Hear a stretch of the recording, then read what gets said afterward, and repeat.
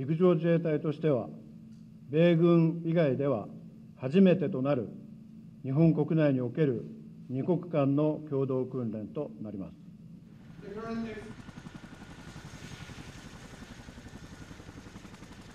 For practical purpose, all of the most valuable training is generally done with another partner because you, never, you will never fight, you will never defend your country alone. There will always be a partner alongside you.